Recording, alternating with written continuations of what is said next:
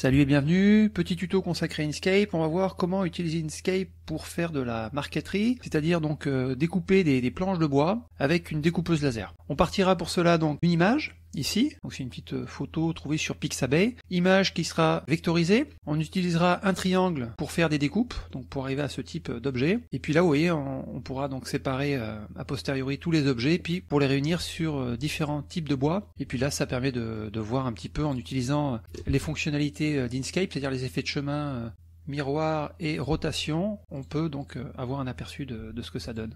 Donc on va tout de suite ouvrir un nouveau document, fichier nouveau, affichage plein écran, on va fermer ici les petites fenêtres, voilà, je vais dans fichier, importer, donc j'importe mon image, ouvrir, image qui sera téléchargée en bas de la vidéo, incorporer OK, donc pour déplacer mon image, il faut que je sélectionne ici l'outil sélectionner et transformer des objets, je clique dessus, je peux la déplacer comme ça dans mon document. Pour zoomer, touche plus, pour dézoomer c'est moins. Également on peut cliquer sur la molette pour zoomer, shift molette pour dézoomer. Je vais faire apparaître ici la fenêtre vectoriser un objet matriciel.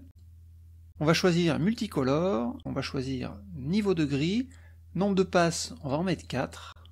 On va adoucir, on va choisir empilement, on garde ici décoché l'arrière-plan. Moucheture 2, adoucir les coins 1, optimiser 0,2, c'est pas mal. Et on clique sur appliquer. Alors pour me déplacer dans mon document, je clique sur la molette, je reste appuyé, voilà. Avec l'outil sélectionner et transformer des objets, je clique sur mon objet et je peux le déplacer comme ceci. Voilà, je ferme cette fenêtre, je vais faire apparaître donc la fenêtre des objets, calquer objet. Voilà, donc j'ai bien mes quatre passes qui ont été créées dans un groupe. Je vais supprimer le groupe. Pour supprimer le groupe, je clique là-dessus. Et maintenant, je vais faire un petit triangle avec un angle de 20 degrés. Donc pour faire cela, je vais sélectionner l'outil dessiner des lignes à main levée. Je vais faire un premier nœud, donc clic gauche, voilà, j'ai mon premier nœud qui est là. J'appuie sur CTRL pour rester bien à l'horizontale. Je clique une deuxième fois donc pour terminer mon segment. Alors si vous avez un fond, vous supprimez le fond en cliquant là-dessus, là, sur la croix. Et pour faire apparaître le contour, si vous n'en avez pas, vous cliquez avec la molette de la souris, voilà, sur une des couleurs. On va laisser en, rouge. Je vais maintenant aller dans Objet, Transformer, Rotation, et on va choisir donc un angle de 20 degrés, et je, clique ici sur Appliquer. Je vais sélectionner l'outil tracer des courbes de Bézier. je me mets sur le nœud là. Quand je suis bien au-dessus, il devient rouge. Donc je clique. J'appuie sur CTRL pour rester bien à l'horizontale. Je clique une deuxième fois. Et je vais fermer mon segment en cliquant là-dessus. Je vais sélectionner l'outil éditer les nœuds. Je vais cliquer ici sur ce nœud. J'appuie sur Shift pour pouvoir additionner le nœud qui est là. Voilà, comme ça j'ai deux nœuds sélectionnés. Pour fermer, transformer, je vais pouvoir euh, faire apparaître en cliquant là-dessus la fenêtre aligner distribuer. Et ici je vais aligner les nœuds donc par rapport au dernier sélectionné, c'est-à-dire celui-là. Je clique là-dessus et j'ai comme ça un beau euh, triangle rectangle. Voilà, je vais fermer cette fenêtre. Donc là j'ai mon triangle. Euh, le triangle, je vais le déplacer. Je vais le mettre, euh, donc je sélectionne ici, sélectionner, transformer des objets. Je clique sur la ligne et je déplace à peu près à cet endroit-là. Voilà, c'est pas mal. Donc je vais renommer ce calque triangle. Donc je double-clique voilà, je tape triangle, j'appuie sur entrée pour valider, et je vais dupliquer de façon à avoir trois autres triangles. Pour dupliquer, on peut cliquer là-dessus, ou CTRL D. Donc 1, 2, 3. J'ai comme ça quatre triangles, et puis quatre calques objets qui correspondent ici à la fleur qui a été vectorisée. Je sélectionne ici le premier triangle, j'appuie sur Shift, je sélectionne ce calque-là, je vais aller dans chemin, et je fais tout simplement intersection. Voilà, je vais masquer et verrouiller pour être sûr de ne pas y toucher. Donc je clique ici sur le triangle, j'appuie sur CTRL, je clique sur cet objet-là, chemin, intersection. Voilà, je masque, triangle, je prends celui-là maintenant, chemin, intersection. Voilà, il m'en reste plus qu'un à faire, triangle là, cet objet-là, chemin, intersection. Voilà, je peux maintenant tout montrer et déverrouiller. Maintenant, ce qu'il va falloir faire, il va falloir soustraire cette forme-là à l'objet du dessous, mais bien sûr, on veut la conserver, donc on va devoir la dupliquer. Mais avant, vous voyez, j'ai quand même pas mal de, tout petits objets là, donc ça, on va pouvoir le supprimer avec l'outil nœuds de façon à simplifier au maximum notre forme. Je supprime ça, je supprime, voilà, je vais supprimer ces objets. Hop, je supprime. Alors là, si on a des poignées qui apparaissent, on appuie sur CTRL et sur le nœud, ce qui permet d'avoir ici un segment bien droit. Là, je vais désactiver le magnétisme qui m'embête un peu. Voilà, c'est pareil, je vais supprimer ici ces objets, je vais supprimer celui-là. Allez, je vais simplifier encore au maximum, je vais supprimer ça et ça. Donc comme tout à l'heure, CTRL et je clique bien sur le petit rond là, de façon à rendre le segment bien droit. Allez, peut-être cet objet-là aussi. Comme ça, on a des formes qui sont relativement simples. Maintenant, on va pouvoir soustraire les formes. Celle-là, je vais d'abord la dupliquer, donc CTRL D. Voilà, vous voyez, j'ai une autre forme qui est apparue. J'appuie sur Shift pour sélectionner cette forme-là, je vais dans Chemin, et je fais Différence. Et on regarde, voilà, effectivement, celle-là, elle a bien un trou. Maintenant, on va faire un trou sur cette forme-là, en utilisant cette forme-là et celle-là. Je reviens en arrière une fois, CTRL Z. Je sélectionne celle-là, j'appuie sur Shift, je sélectionne celle-ci, je duplique, CTRL D, je vais additionner, je vais unir, pardon, ces deux formes, je vais la mettre en rouge, donc celle-là, je vais la soustraire à celle-ci. Donc chemin, différence.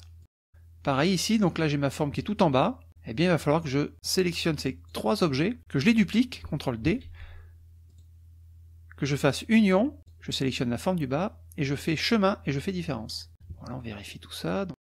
ça c'est bien découpé ici, et c'est bien découpé là. Donc là c'est parfait. Maintenant on va faire notre petit montage, donc pour cela je sélectionne tout, je groupe, alors pour grouper je clique là-dessus, ou CTRL G. Vous voyez j'ai un groupe, et je vais utiliser les effets de chemin. Chemin, effet de chemin, on clique sur le petit plus, on va choisir donc l'effet miroir d'abord.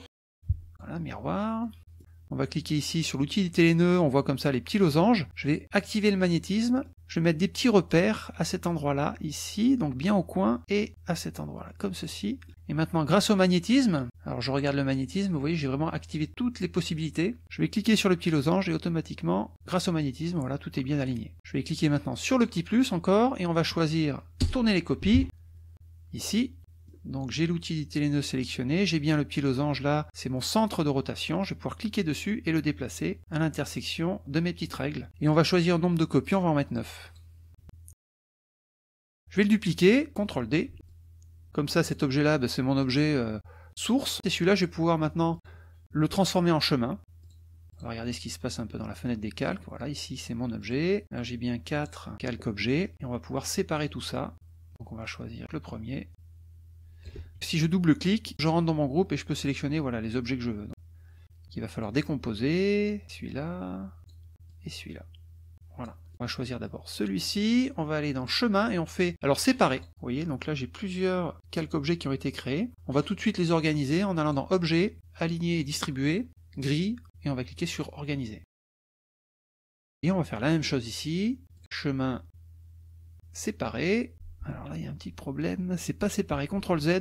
Alors dans cette version d'Inkscape, on a la possibilité de faire découper le chemin. Et là, ça permet de préserver en fait les, zones qui sont à l'intérieur. On fait organiser. Alors là, c'est pas forcément organisé comme je le souhaite. J'appuie sur Alt, je clique, clic gauche, je vais pouvoir sélectionner les, des objets comme ça. Voilà, ceux-là. Je vais pouvoir les organiser. Ici, tac. Ou alors on peut euh, clic gauche et puis en appuyant sur Shift, on additionne. Une autre technique. Voilà, organiser. Mince.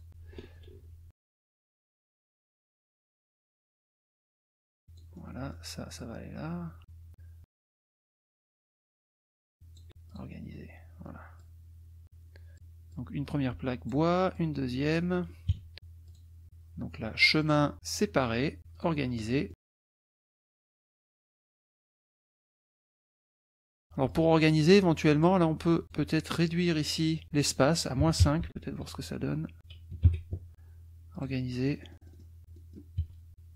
Moins 20 organiser, ou alors peut-être les placer à la main pour euh, gaspiller le moins de bois possible.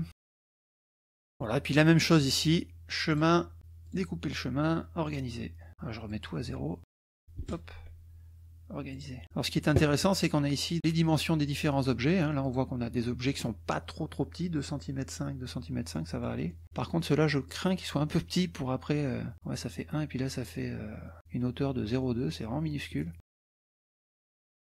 Bon voilà pour ce petit tuto, j'espère qu'il vous sera utile, n'hésitez pas à poser des questions, et je vous dis à bientôt pour de nouveaux tutos.